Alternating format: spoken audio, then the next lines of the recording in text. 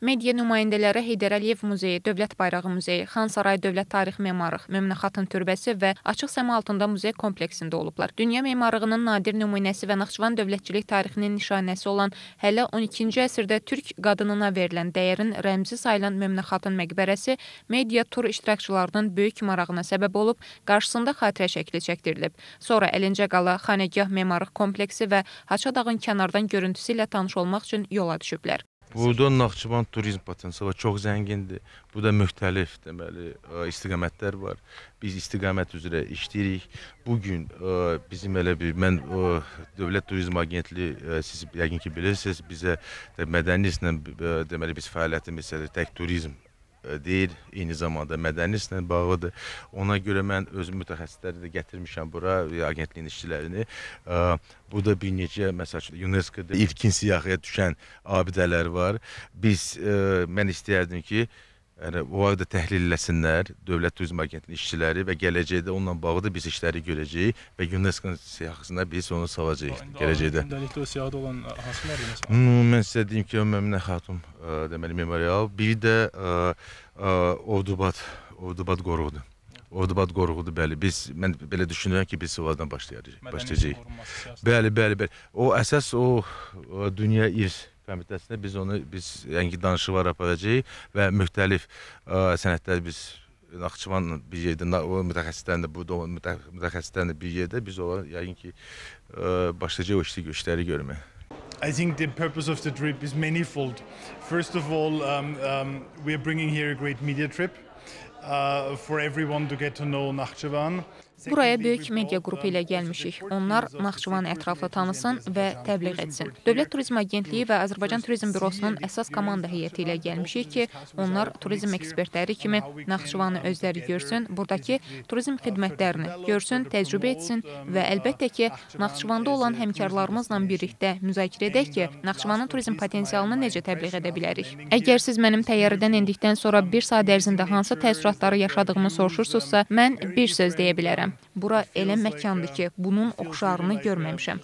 Baxmayaraq ki, çox yerlərə səyahət eləmişəm. Əsas da mənə təsir edən ətrafın çox təmiz olması, insanların cana yaxın olması, landşaft, təbiət və bu dəqiqə ən çox ehtiyacımız olan təmiz hava. Əlbəttə, bu bir saatlıq təəssüratdır. Əgər siz sabah və digər günlər soruşsanız, mənim danışmağa daha çox təəssüratım olacaq. Climate, fresh air, uh, breathing, so Bu çox yaxşı bir e, təşəbbüsdür ki, hal-hazırda e, Dövlət Turizm Agentliyi və Naxçıvan e, Dövlət Turizm Departamenti arasında bu cür əməkdaşlığın nəticəsi olaraq biz media qrup buraya gətirmişik və əlbəttə ki, media qrupla yanaşı bizim Dövlət Turizm Agentliyinin Azərbaycan Turizm Bürosunun əsas komanda heyəti burdadır ki, biz öz həmkarlarımızla müzakirə edək, Naxçıvanın turizm potensialını, ümumi ölkəmizin turizm potensialının fonunda necə daha yaxşı və təkmil formada inkişaf edək etdirə bilərik. Və əlbəttə ki, mən həm də bu məsələyə bir turizm eksperti yox, bir ziyarətçi, bir turist kimi də baxmaq istəyərdim.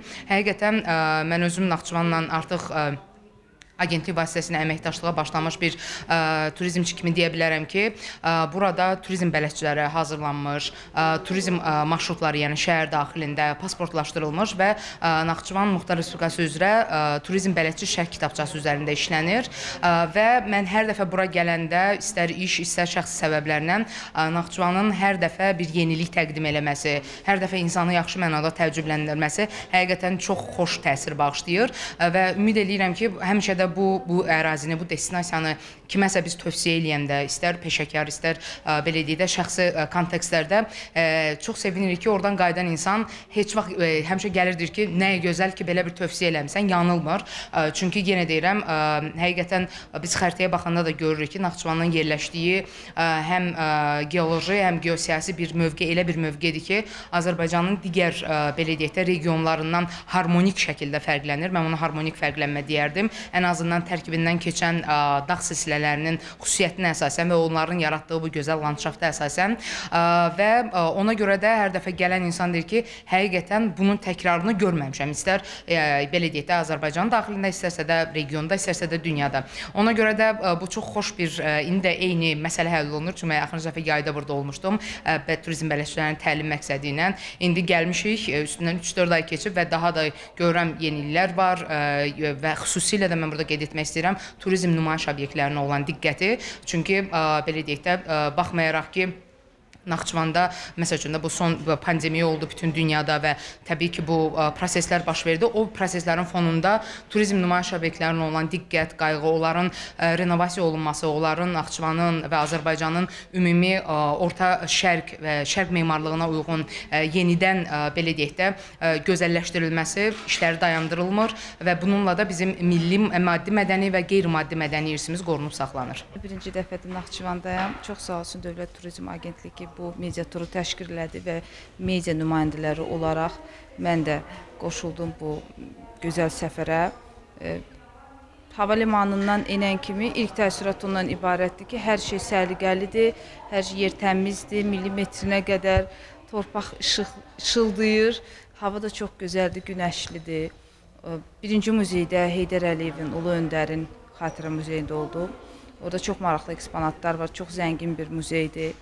Mən düşünürəm ki, hər bir Azərbaycanlı o muzeyə gəlməlidir və Ulu Öndərin tarixi torpağına ziyarət eləməlidir. Çünki Naxçıvan hər zaman döyüşkən olub. Uzun illər blokadada qalmasına baxmayaraq həmişə mübarizə aparıb, qalib gəlib. E, Bu günü bu gün də Naxçıvan belə bir qaladır. Düşmənlərimizin göz dağıdır. Mən arzu eləyirəm ki və bundan əminəm ki, Naxçıvan hər zaman elə belə alınmaz qala kimi Azərbaycanın bir parçası olaraq qalacaq, düşmənə göz dağı olacaq. Həm yerli, həm xarici turistlər üçün e, maraqlı bir yerdir. Turizmin e, demək olar ki, bütün növləri növlər üzrə inkişaf etdirilibdir, növlər vardı. Həm tarixi, mədəni, həm digər növlər üzrə e, mövcuddur. Belə şəhərdə əsas diqqətimizi çəkən təmizlikdir, xüsusən.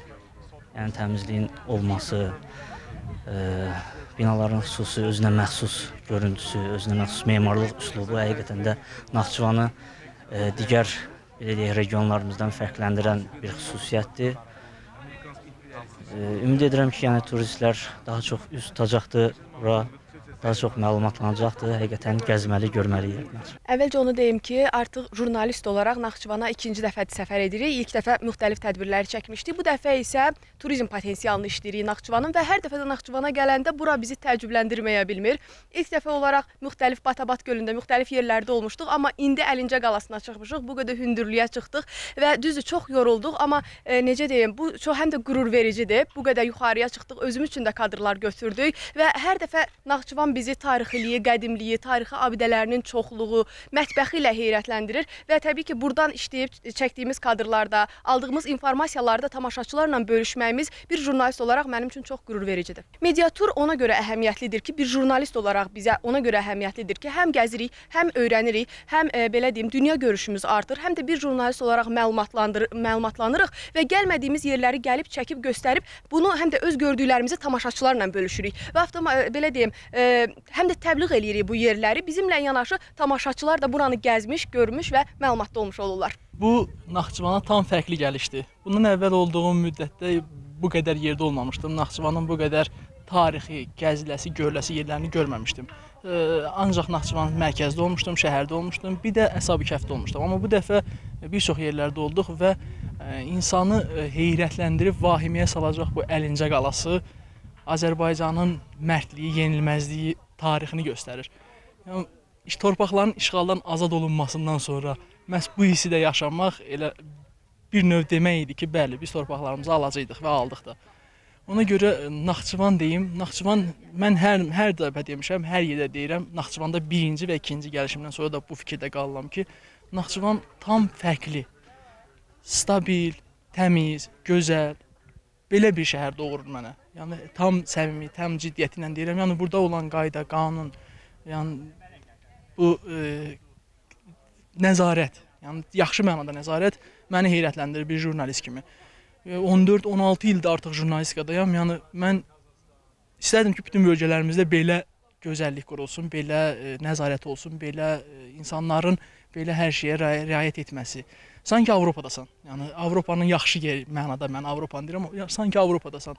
Və bu tarixilikdə həm keçmişlə e, gələcəyin, bu bugünkü dövrün uzlaşmasıdır.